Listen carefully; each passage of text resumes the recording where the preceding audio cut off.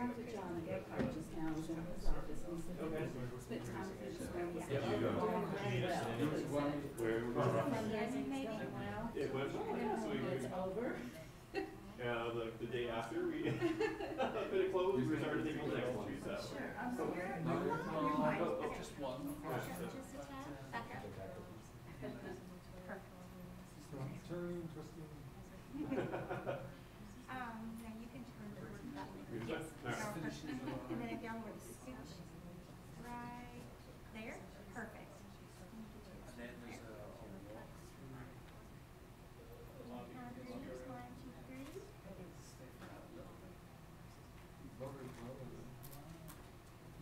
Another.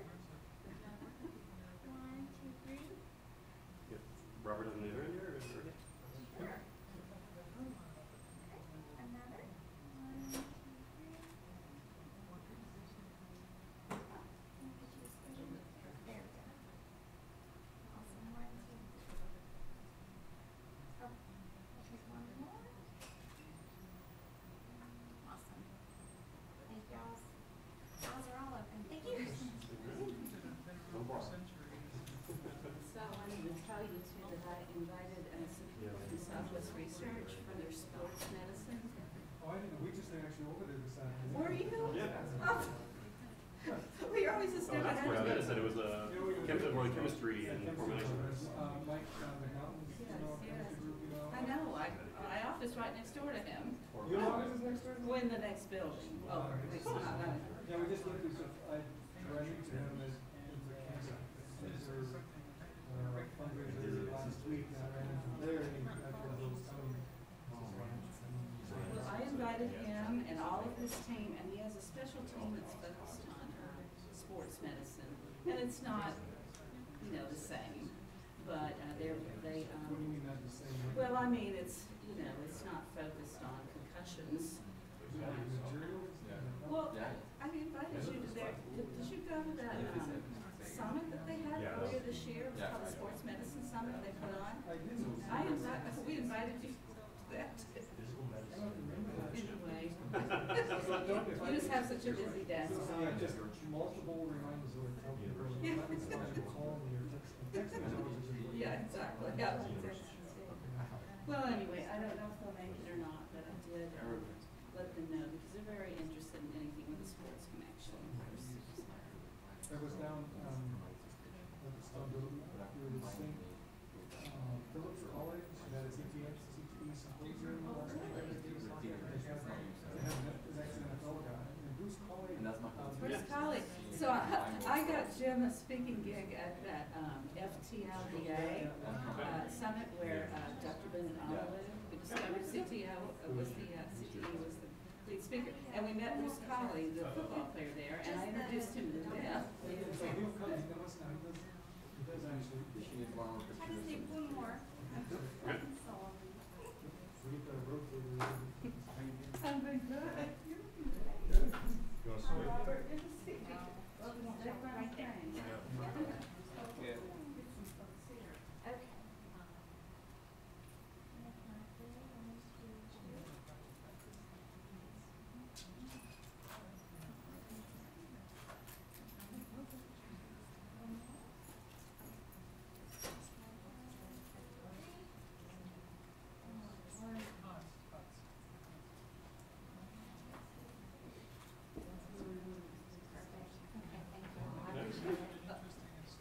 Anyway, he texted me again, he said, when I sent him, he was good, he just never answered. Yeah. And then, I tried to send a phone call a couple times and then, and then, then I got, there was like, he was, he was in San Antonio. He said, he said we just this poster, all he knows is this poster, you know, that the NFL players are given some supposedly in San Antonio, and I think he was implying that I should come to it, but I wasn't quite sure what it meant.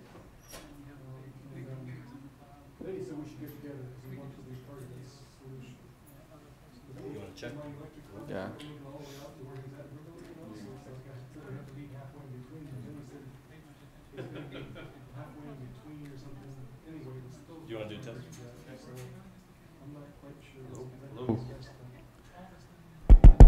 That sounds like it's working. Yep, there we go. you got yours on?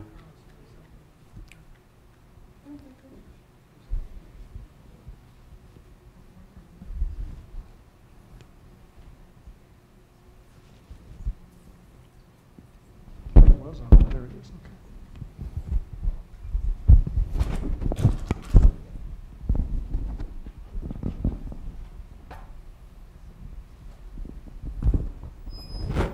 Can we sit?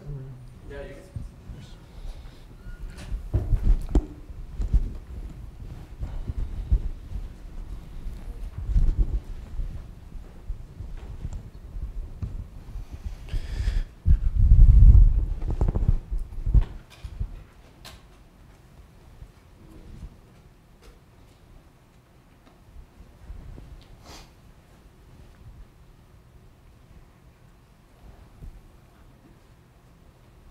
I'm just waiting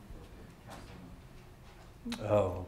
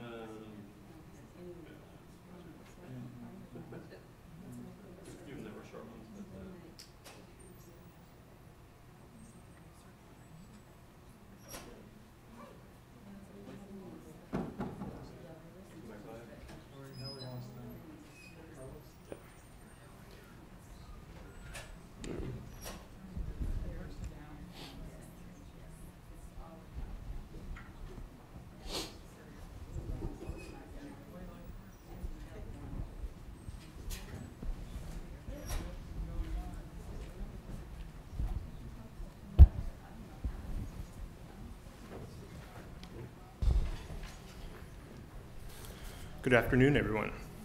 Thank you for joining us for UT Health San Antonio's first year being involved in the San Antonio Entrepreneurship Week. We are excited to present to you the first event of three UT Health San Antonio events this evening, where we will be discussing traumatic brain injuries and their relation to sports and the biosciences. I am Robert Graham. I am a consultant at the Office of Technology Commercialization here at UT Health San Antonio. My background is in the biosciences, and my undergraduate education was concentrated in neuroscience, so tonight's um, discussion is of particular interest to me. However, I know that you will find it as interesting as I do. For tonight's discussion, we have gathered a distinguished panel of experts that will be able to shed more light on the topic of traumatic brain injury. a topic that has recently began to capture the interests of the general public. But before we start, I would like to remind the audience to text SE, SA, excuse me, SAEW 37 to the automated message you received earlier. With that being said, I will now hand it off to my colleague, Rafa Varasa. Rafa is a PhD candidate here at UT Health San Antonio, getting his PhD in translational science, and as such, he is a perfect candidate for moderating tonight's event.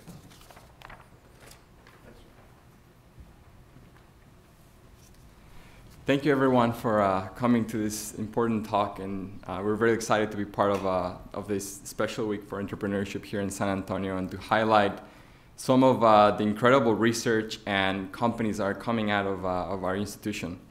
Uh, well, I'm going to do a very brief introduction to our great panelists here today. we're going to introduce Dr. Carlos Jaramillo. He has a PhD in developmental biology and an MD from George Washington University. He did his uh, residency here at UT, UT Health San Antonio in physical medicine and rehabilitation. And he focuses, he works at the VA, uh, working with patients that suffer traumatic brain injuries. Also joining us today is Dr. Korinek. Uh, he's the CEO and co-founder of Astrocyte Pharmaceuticals, a company that's spun out of this institution. He has an, a PhD from Harvard University and he has a great background working with companies such as Pfizer. And also one of our own, Dr. Uh. He is a professor here at the institution, and he's also the co-founder of Astrocyte Pharmaceuticals. He focuses on studying drugs and looking at molecules that can prevent traumatic brain injuries and strokes. He specifically focuses on a, a type of cell called astrocytes.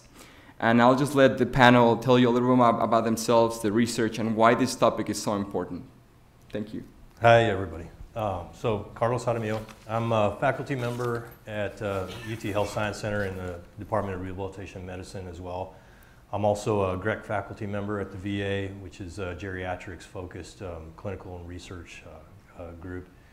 And um, I have a long held interest in uh, the aging processes and uh, how injuries affect uh, aging and it, vice versa, and how to best treat people who've incurred injuries and are um, going to have these injuries with them for some time.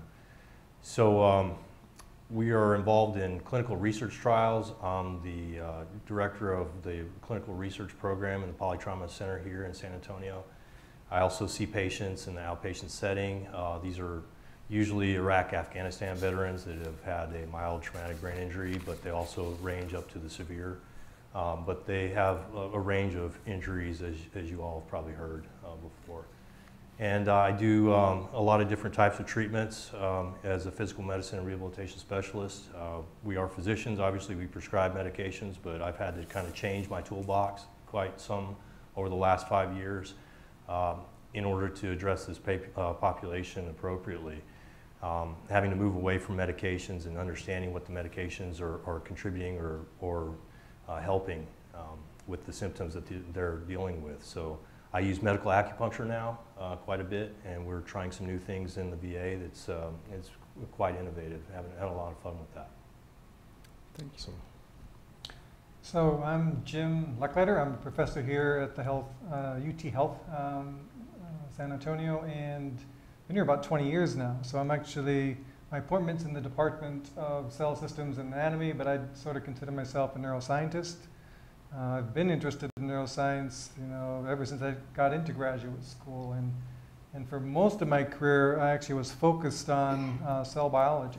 You know, essentially looking at cell culture, all in vitro systems, and it was really only in the, I'd say, last 15 years that we've started moving into whole animals, and we've got very interested in sort of the basic physiology, the basic cell biology of astrocytes, which is sort of that other cell type in the brain that people tend to forget about. And it turns out to be a really fun cell to study, and it's actually playing a really huge role in sort of maintaining the overall health of the brain. And so we, we found a way to stimulate that cell, and so we've been following up, trying to understand why, if we sort of stimulate this cell type, sort of force it to do its job a little bit better, um, why that actually helps the brain under conditions of stress. And, and, what we've studied mostly so far are things like, you know, trauma to the uh, mouse, it's all preclinical studies, or stroke. And, and um, uh, basic science, I guess, is where I came with this from. It wasn't expected. And, and now we're just hoping it'll eventually get translated into, um, uh, eventually a treatment into people. So I'm Bill Korinek. I'm the CEO at Astrocyte Pharmaceuticals, and Rafa did a, pretty good job on the, the background. Uh, so maybe I'll just be a little more myself as it relates to entrepreneurship, since this is Entrepreneurship Week here in San Antonio. Uh, I started off in the science as in getting a, a, PhD, but I think I fairly quickly was drawn to the business side as well. I thought it was very important to have a foot both on the, the science and the business side. And so I spent a number of years in consulting and then going to the business side on a pharmaceutical company, Pfizer. Uh, but I also thought it was important to kind of be at a strategic level and at an operational level. So I was fortunate in my consulting time, we were working on a lot of uh, strategies. Is this loud? Is it uh, good audio? Uh, so I spent a lot of time on strategic plans with a, a, number of biotech and pharmaceutical companies and working for this consulting firm. And then when I went to Pfizer, I was in an R&D strategy role. Uh, but then I migrated over time to be in much more operational roles and was in charge of coordinating business planning process across the various therapeutic areas and functional departments at Pfizer. And I think kind of being able to do that early in my career to look both on the science and business side, look at the strategic side and, and operational was very helpful in thinking about you know, this opportunity that became Astrocyte Pharmaceuticals and just having more comfort or confidence to, to jump in into a, a, startup situation. And as it relates to TBI, well, we'll talk more about this, but it's something that I probably on the sidelines on as a, as a fan of the NFL and having three young kids in contact sports. Uh, but it's been very fascinating as I've, I've, really dove into this over the past few years and just understanding uh, the, the, kind of the scope of the, the challenge here and how it's really emerged not just in our awareness, but uh, in the science and what we really need to be doing collectively to help address it. Well, to, to start off uh, with the topic of today's discussion is TBI. Uh, Dr. Jaramillo, since you're a physician, could you just tell us uh, the difference between what a concussion is, a TBI, and, a, and the new term, which is the CTE, the chronic traumatic encephalopathy, and, and what happens in the brain when, this when these traumatic events occur? Just to give us an overall picture of it. Yeah, those are all long discussions, but um, the, the definitions for traumatic brain injury get complicated. Uh, they're very broad at this point. We talk about mild traumatic brain injury, moderate, and severe. And um, that's a, a very gross clinical description. And it's usually determined based on how long a person's lost consciousness, um, their difficulty with memory of the event, how long they can remember before the event happened, and then sometimes things like um, uh, what shows up on an MRI or a CT scan. So there's ways of putting people in those categories. Uh, and that's usually at the triage level, you, you, do that to see if they need surgical intervention.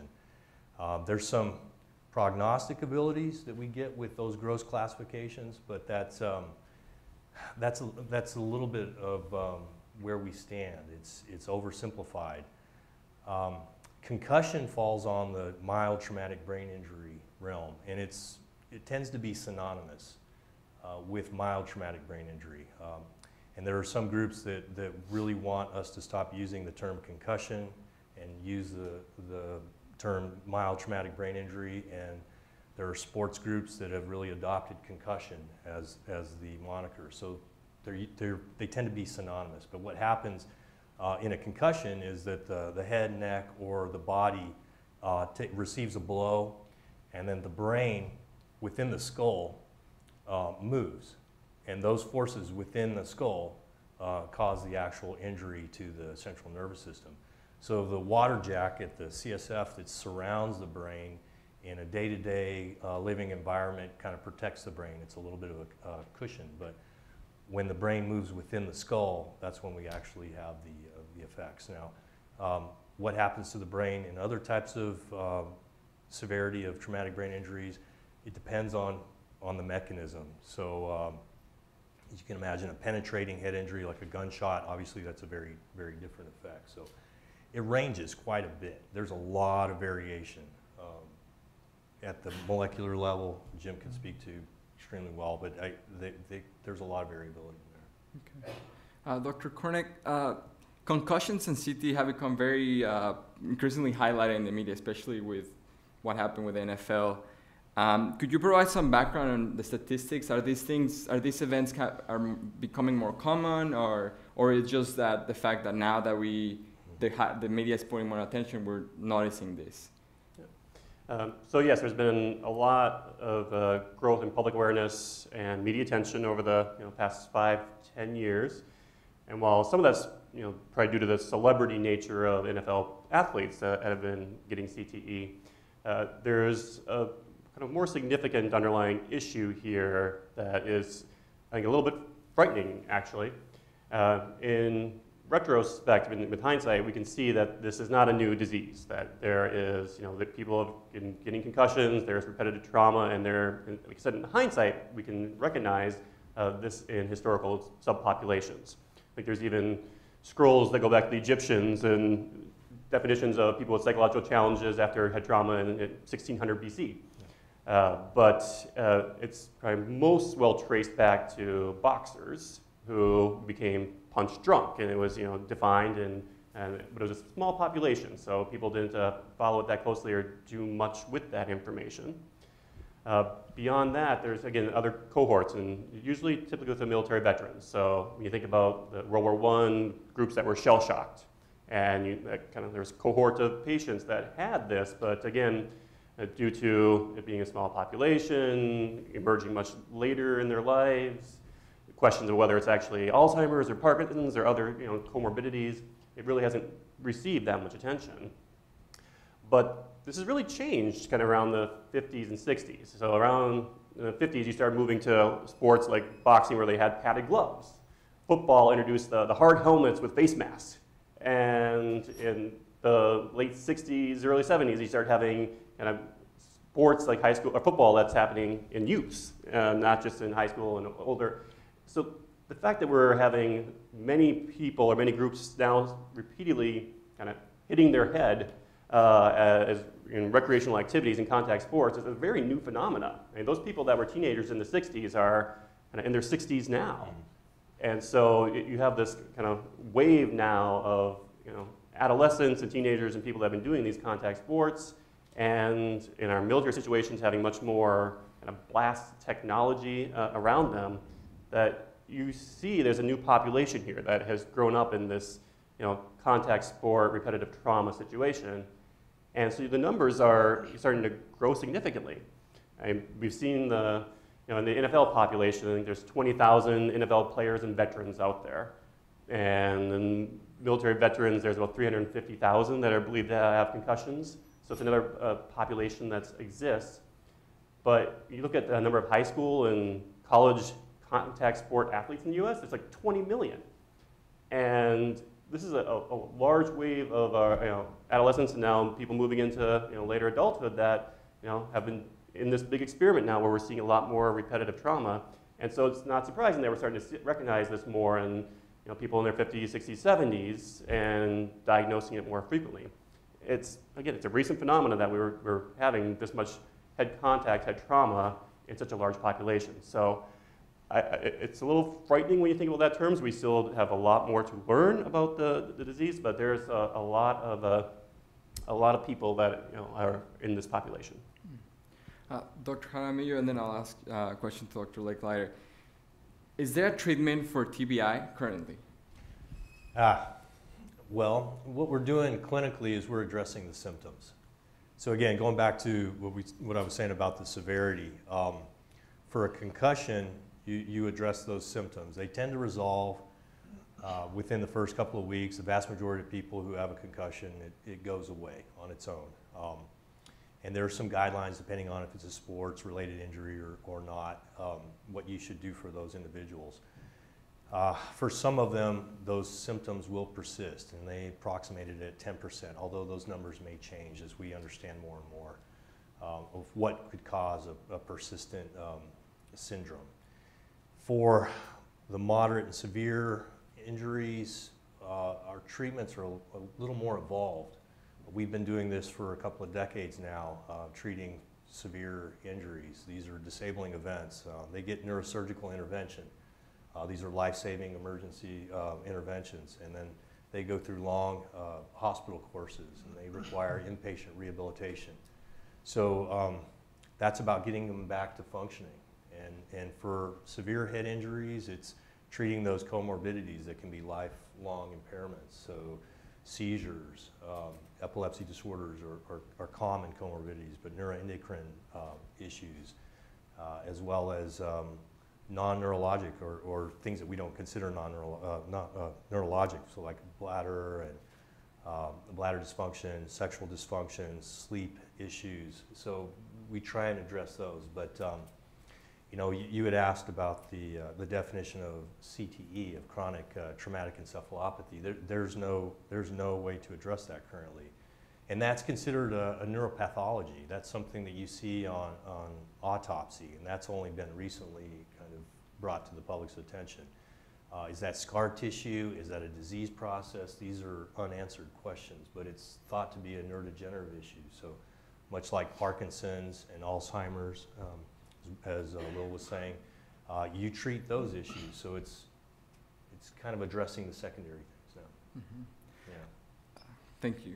Dr. Lechleiter, uh, your research focused on hopefully finding potential treatments for TBI. Can you tell us a little bit about your research and how these potential molecules or, or uh, compounds that you're looking into can hopefully eventually help the patients in the, in the long run? Okay, it's, it's a, bit of a oh. mouthful too. So, so I, I, guess backing up, I, I, wanted to talk about the brain a little bit about its cell types, its parts, and, and we always think of the brain of having nerve cells, and people always forget about the support cells in the brain.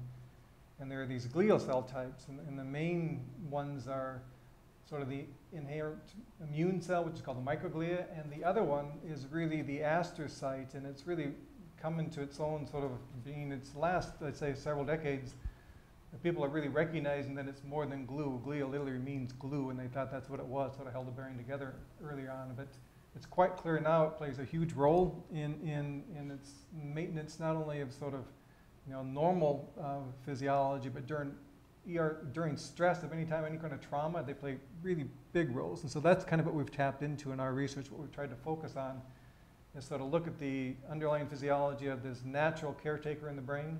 And then we actually have been looking for ways to sort of stimulate that sort of natural healing ability. And, and, and so we've actually then stimulated um, all these different processes that the astrocyte does. You know, so it, it does things like maintain the salt balance in the brain, which is very important for things like fluid and edema, um, which actually are really problems after any kind of injury.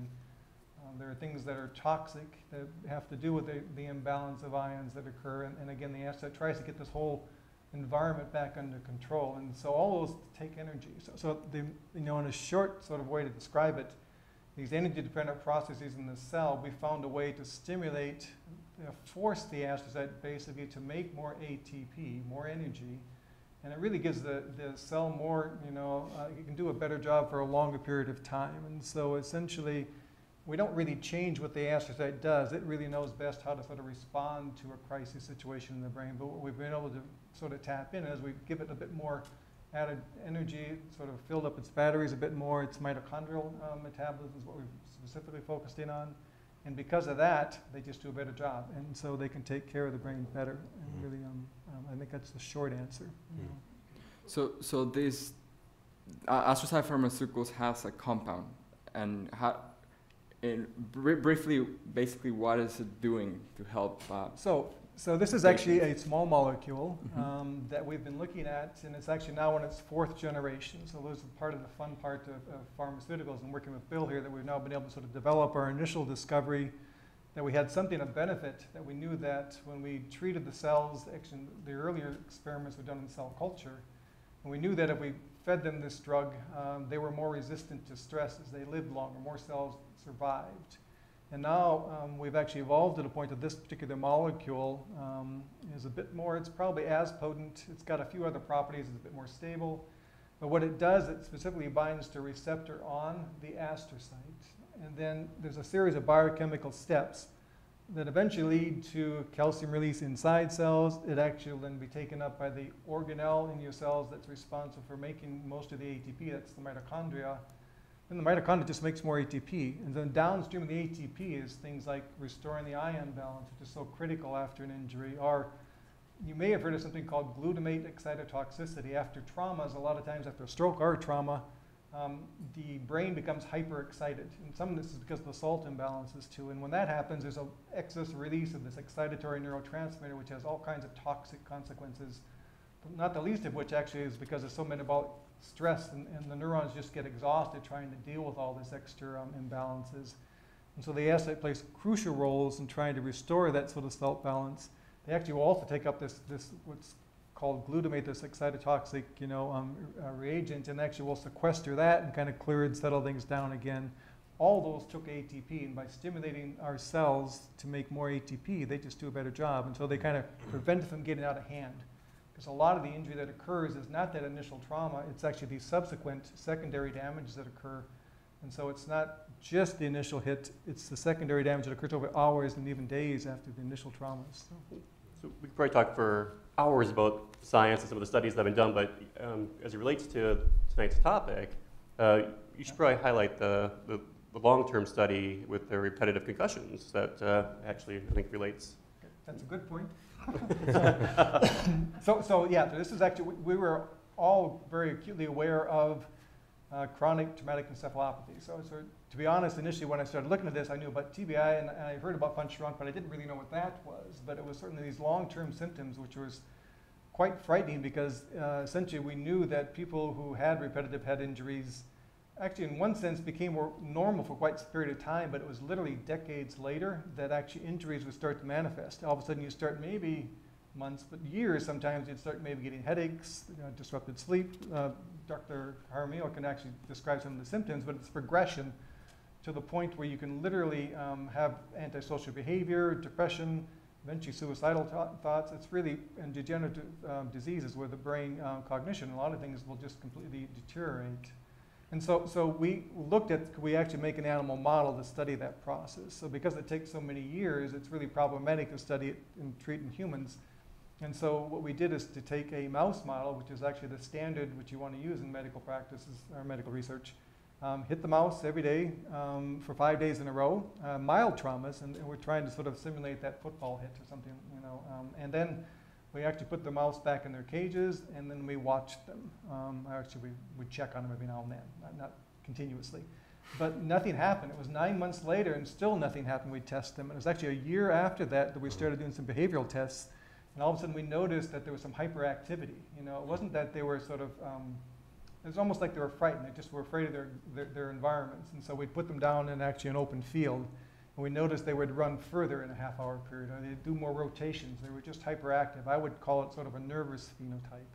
And then it turned out they also had motor coordination problems. You know, there is some standard tests that they use in Parkinson's disease where where essentially you can put a mouse on a vertical pole and it's just a gentle behavioral test and they'll turn around very nicely and crawl down.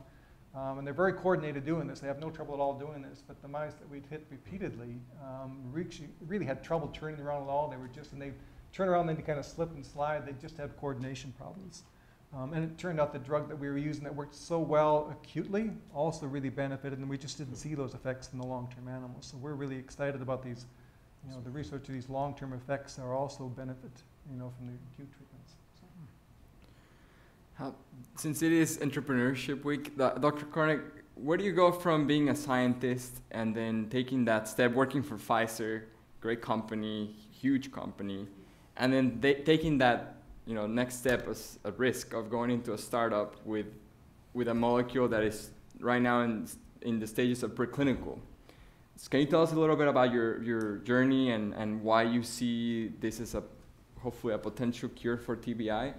Uh, sure, sure. Uh, so I started talking with uh, Dr. Lechleiter uh, back in early 2014, and we've known each other for a, a, long time.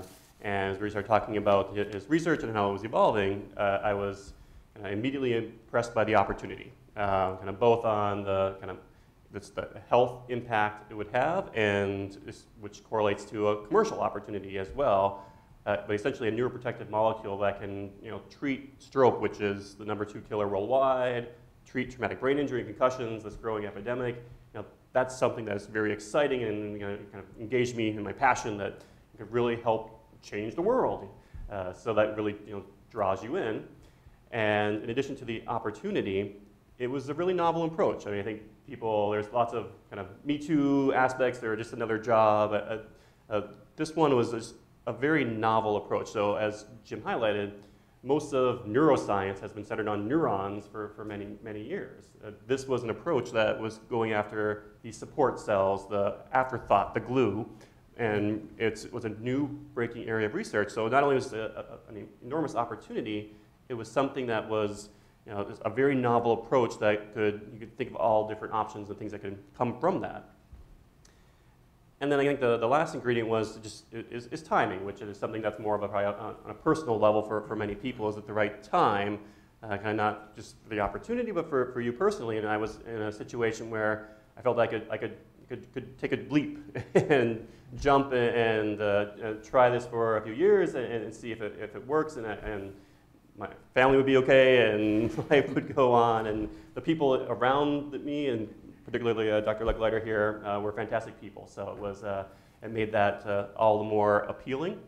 And I think my, my wife said it best, you know, that you would regret this if you didn't do it. And so that was part of the, the kind of the last uh, push that said that, you know, I have to try this. Probably didn't make it any less frightening at the time. I was frightened, you know, when I first started out this whole process. That now it, was, it got very real. All of a sudden, it was always this possibility of, you know, you've got a potential interesting finding in the basic science workbench, you know, and you always think, well, you always write that this is going to end up someplace in a clinic, you know, but you never really think, how's that going to happen? So I was sort of the naive scientist, and so, um, and then all of a sudden, when you quit your job, you know, at Pfizer, then it was quite real. You know, so, it's still frightening at various times, you know. So uh, uh, Dr. Jaramillo, um, with the patients that you currently see right now, um, as a physician, you're treating these patients. It must be frustrating not having, you know, a, a drug or the magic bullet to, to cure these patients. Uh, Dr. Lechleiter and Dr. Korinek are hopefully, you know, working on something that eventually help the patients. It takes a long time to go from the from the bench to the clinic. Right. right.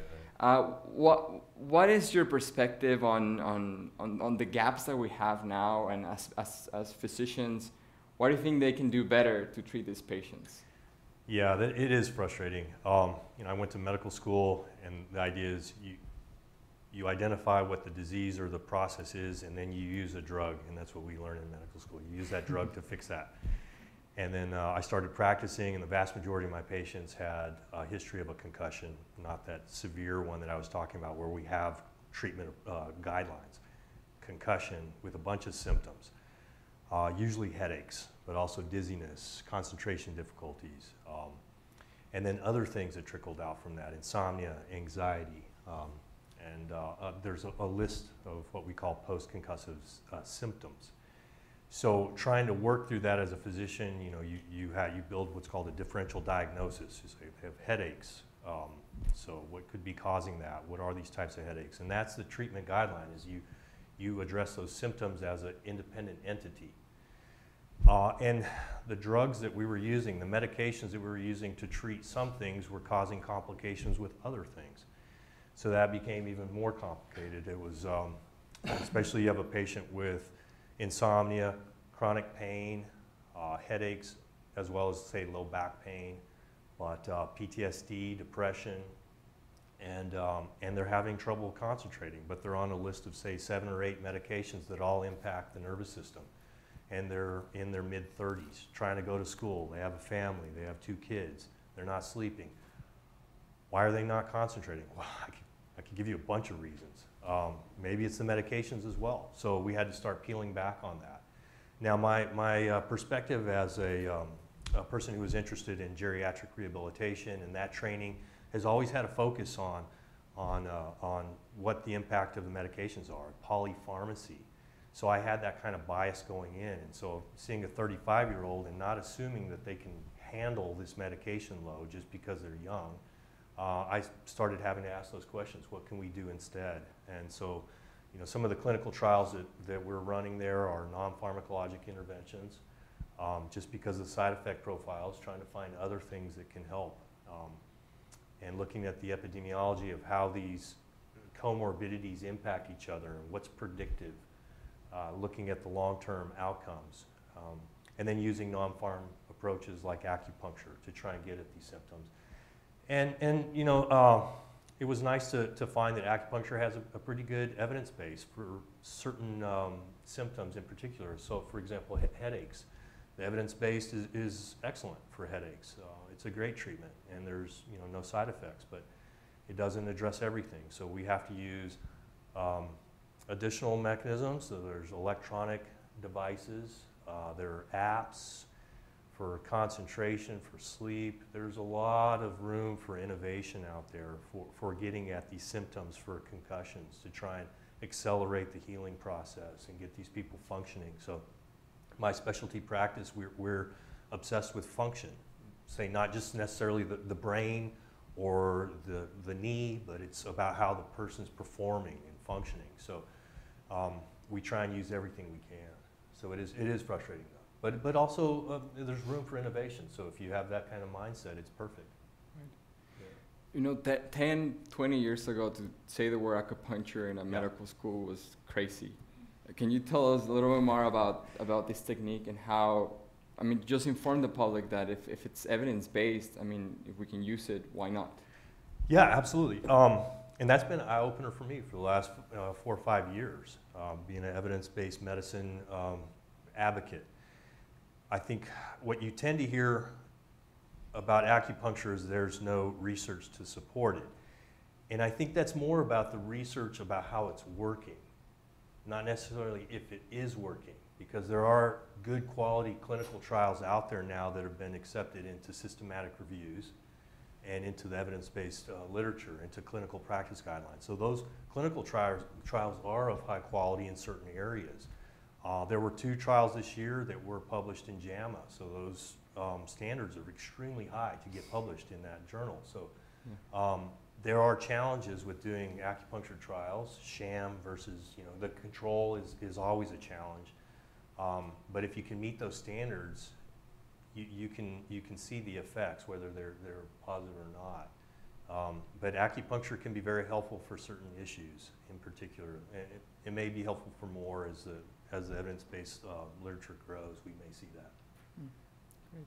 Does that, does that help? Yeah, that's, that's a good Okay. question. That, a good answer. Could I just add one more thing? I mean, Yeah, yeah, go ahead. Sometimes you always want to, everybody always asks, do you have the cure? And I, I think Mhm. that's the wrong way to go after it. Can you make things better, right? You know, I mean, Yeah. can you slow things down to where it actually isn't going to be a problem? So even a five percent change or benefit is, you know, huge, you know, sometimes. So I Oh, think, absolutely. Yeah, I So- wholeheartedly agree. And so, so Jim's work and the work that they're doing, if, if you could give a treatment um, on the sidelines or in the emergency room for somebody who's had a, a clear um, injury that warrants it, and you can get a 15, 20% um, effect, that can make the difference between getting back on the field in a, a couple of months, which I'm sure there are plenty of professional organizations that would, would find that interesting uh, but also getting back to work or taking care of your family, getting back to school.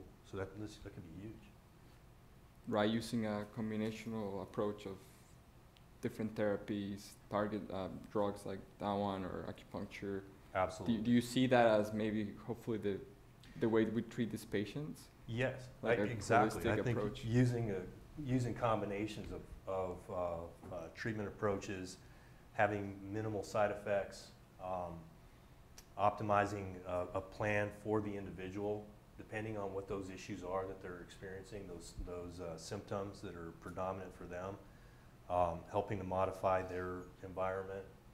Um, yeah, I think a combination approach will, will be, uh, would be great. And I think there's all, there's room for innovation on that. We just don't see that. I mean, if you have a concussion on the field, if, if I was in uh, a motor vehicle collision, you know, I guess we're going to finish here about five o'clock. One of the most dangerous things we do is, is drive home. But if I go to the emergency room, I'm probably not going to have a head scan if I'm walking and talking. They're probably not going to do much for me. Um, there are no real treatment concussion centers.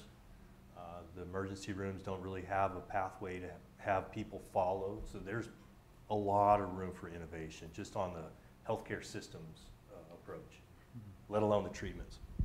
Yeah, and thinking about kind of those research gaps as well, I think something that really helps identify who is more susceptible, because there are people that are faster evolvers uh, in CTE and are just more susceptible to the, the hits. And there's some classification of people that are showing more cognitive dysfunction versus those that have more kind of mood and behavior Yeah. um, dysfunction.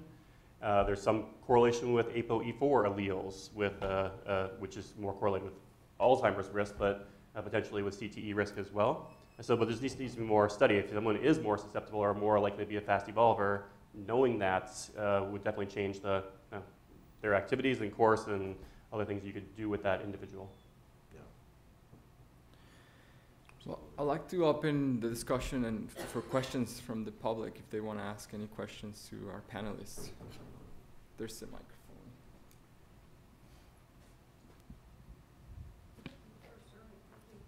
Uh, Dr. Lechleiter, I know you have a long tenure as a researcher and a shorter one as an entrepreneur. Can you tell us what's been like the biggest surprise, best and worst discovery about going into that new venture? Um, it's an entirely different world, you know. So, so um, in, in one sense, as a basic science researcher, we're always told to go after mechanism, mechanism, mechanism, you know, and, and we always say this translational sort of, you know, output. And, and, and so I think the best advice I can say is don't try and do it yourself. Try and find a business person to actually do the business side, you know, um, and, and basically, um, you know, uh, Bill's always said it takes, you know, good science and good business to actually make something work. It's kind of rare that you've got it in both of you and you've kind of kind of specialized a little bit. So uh, there are lots of really good people in business and it's just a different world and it's very precise and it's, you know, um, it's quite fascinating, but it is a completely different world and I'm not sure I would be any good at starting my own business. I'm just sort of the science advisor, I guess.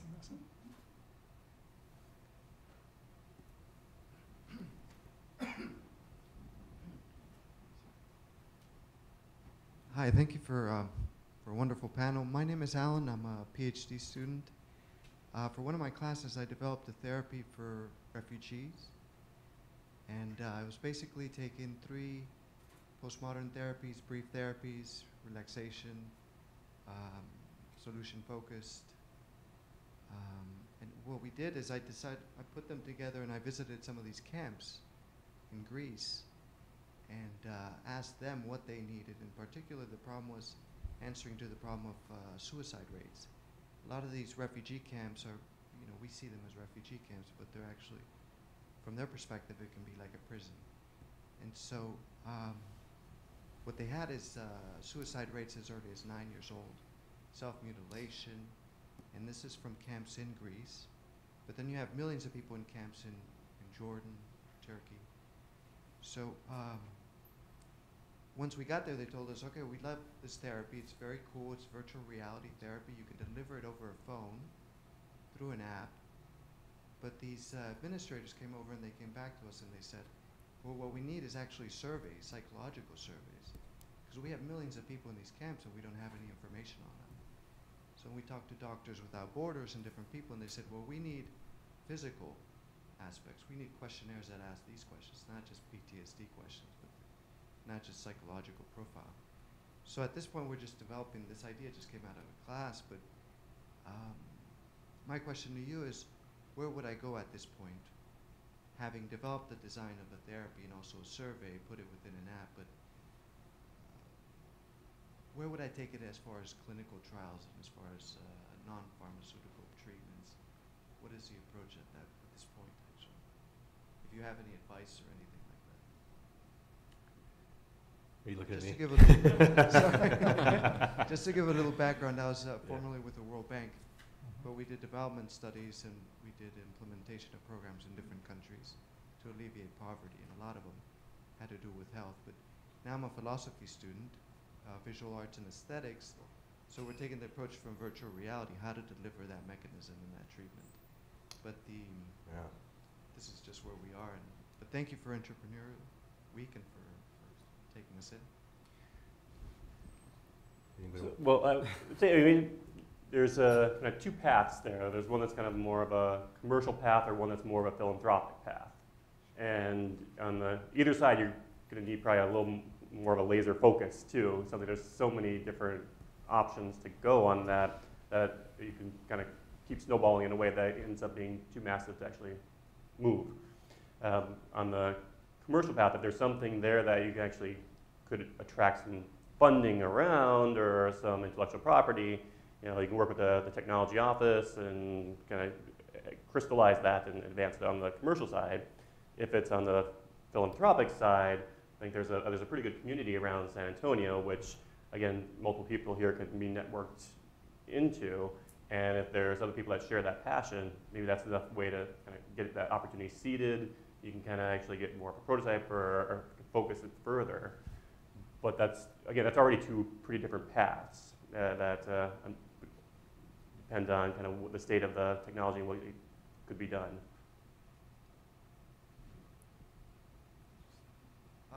Thank you. More questions? I don't know if I need a mic. Um, so this is to, to, well, I guess all of you, but specifically Dr. Jaramillo and Lechleiter. So I know in both of your work, um, you, I, so I know in, in the work of both of you, your research um, over the years, there have been many innovations outside of what you guys have done that you've brought into your work, right? For example, um, types of techniques or you know new tools that you can use in order to push your research forward. So can you both talk a little bit about some of the latest tools that you're using in your in your work and you know how innovation has pushed your work forward? You want me to Um, yeah, go ahead.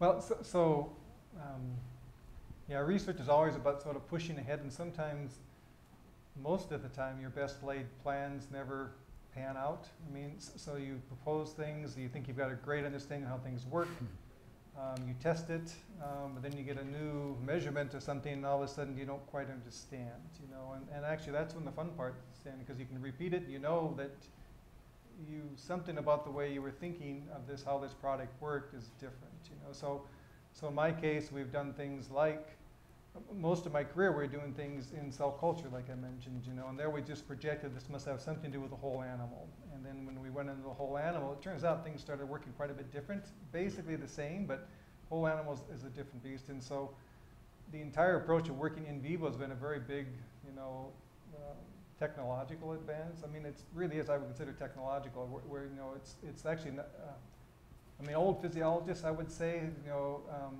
had worked in whole animals. Then we kind of went all the way down the reductionist approach.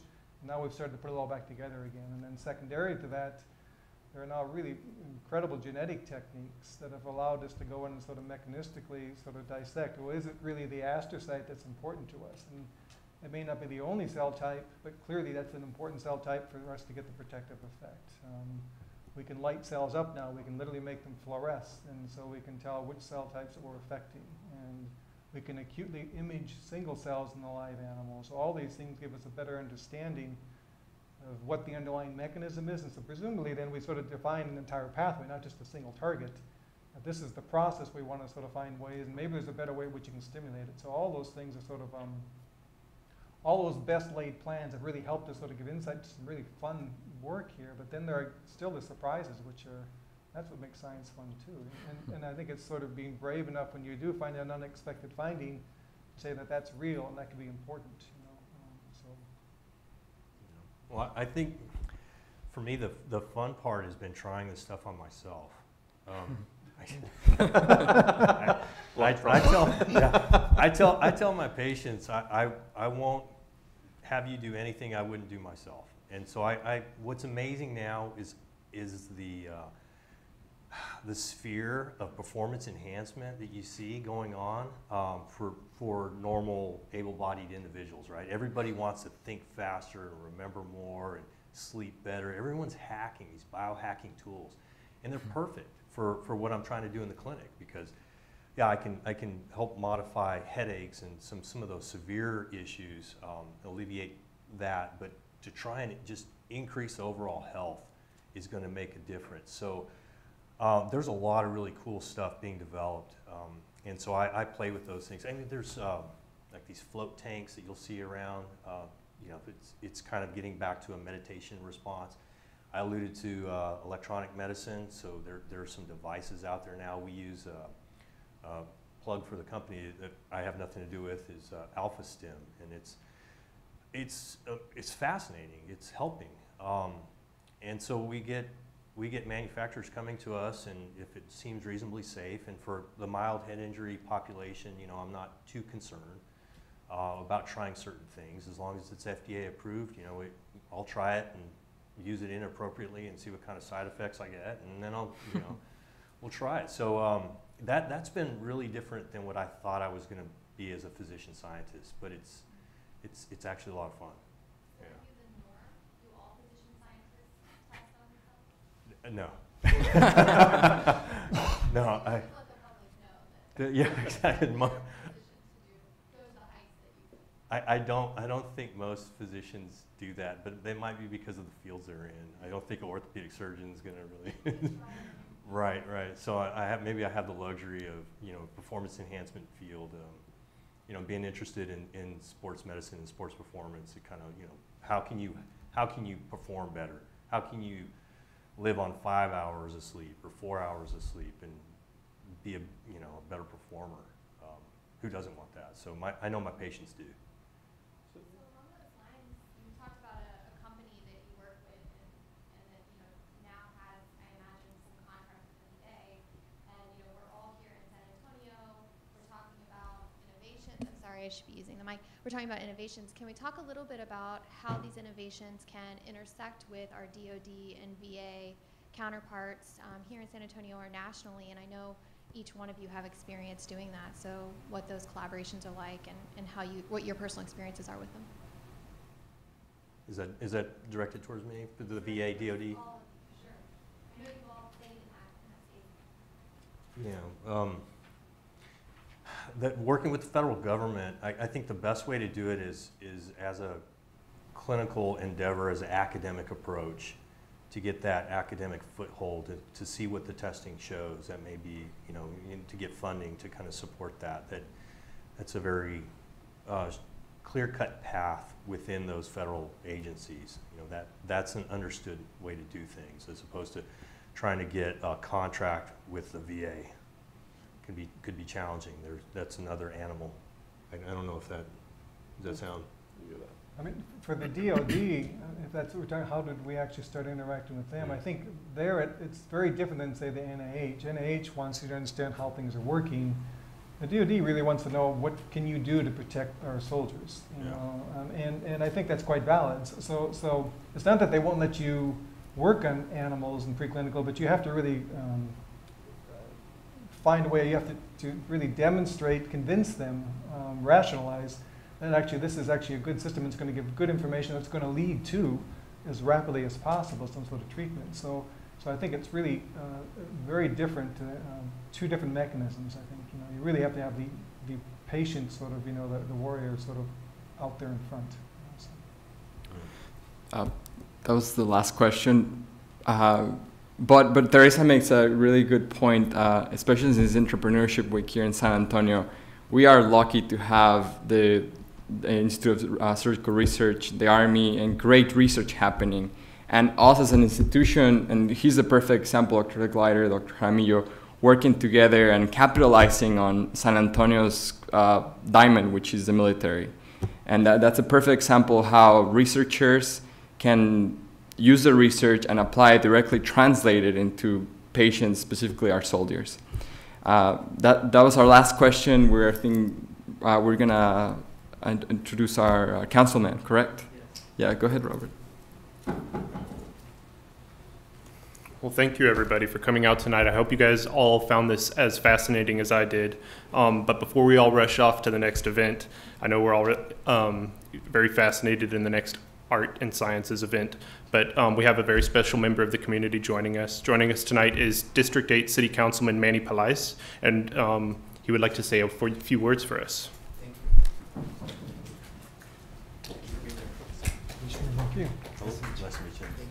Um, I am uh, a lawyer because I could not get into med school and become a um, medicine scientist, and it's a pleasure to be up here with such big frontal lobes. Um, I have, um, I, first of all, greetings from our mayor and our city council. We're really proud of you and very thankful that you're doing this in San Antonio. And we think you picked the right place to continue doing all your research and all of your work. Uh, Dr. Jaramillo, every movie produced by Marvel and DC starts off with a scientist who's experimenting on himself with the new meds. and so um, I'm really looking forward to what uh, feats of strength you pull off uh, over the next couple of months. Um, and, uh, and Dr. Lechleiter, you know, um, as you describe hitting mice over the head five times a day for five days in a row, that's exactly what happens at city council uh, to city council members. And so um, I can I can relate. I, uh, I, in all seriousness, San Antonio has a very long tradition of uh, finding walls and then finding and innovating ways to climb over them. And um, in 1963, uh, JFK gave his very last speech. Uh, prior, and, and the next day, he was assassinated uh, in Dallas. But he gave his very last speech in San Antonio at Brooks City Base. And at Brooks, Air, I'm sorry, Brooks Air Force Base. And he was uh, inaugurating the opening of the new uh, space and flight uh, medicine science research center. And San Antonio, after that, became the innovator in space medicine and in flight medicine. But during that speech, he uh, recounted a story that he'd read by an Irish author. And in that story, um, there's a chapter about some boys that were walking down the street and docking, you know, walking down the way until they finally came to a tall wall, and on the other side was an orchard. And they all said, Well, there's no way for us to get over there. And one boy took off his cap and threw it over the wall. And they said, Well, now we got to go chase it. And uh, so what JFK said was, you know, this is our moment, 1963, to throw our cap over the wall of space, and we've got to go chase it, right? Well, we've done that over and over and over again. You know, military flight, we innovated it, and we started here in San Antonio. Space medicine, again, started here in San Antonio. We've made very important steps in innovating around burn science and trauma, uh, um, and the military's presence here has allowed us to save lives over and over and over again. And we are now the best practices and the best, you know, the benchmark for that kind of science. Southwest Research Institute is uh, innovating and has innovated for the past 30, 40 years um, more uh, successes than I could possibly list. But one of the important ones is, you know, uh, space shuttles and the Mars rover and all that. There's technology on there that came from San Antonio to make it possible for us to continue exploring. Um, the stent uh, that you know is now in millions of chests all over uh, the world came from San Antonio. In fact, it came from UT Health Science Center and Dr. Palmaz.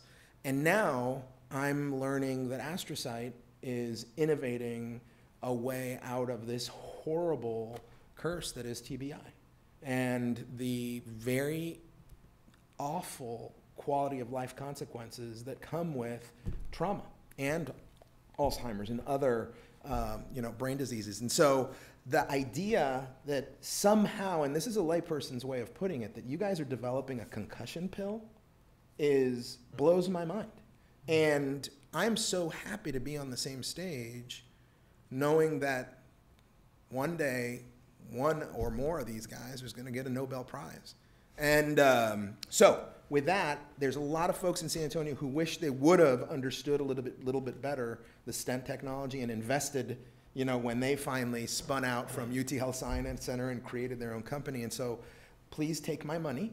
Uh, and, uh, and, and, and, and, and, and I'm, what I'm highlighting is, is that UT Health Science Center has a very long tradition of innovating. This is a living laboratory here.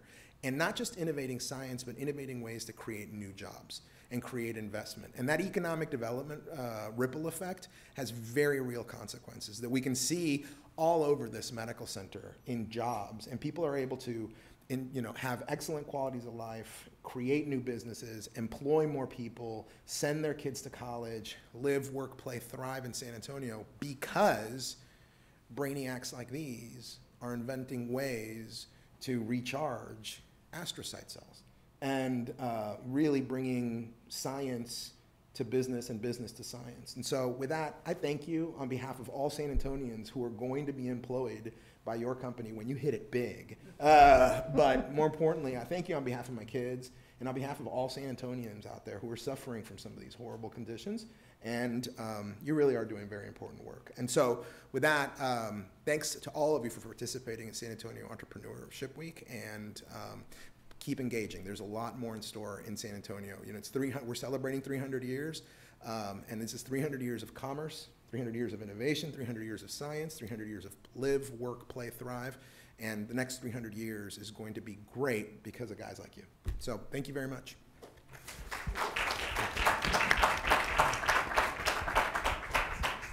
Thank you. Thank you everyone for coming.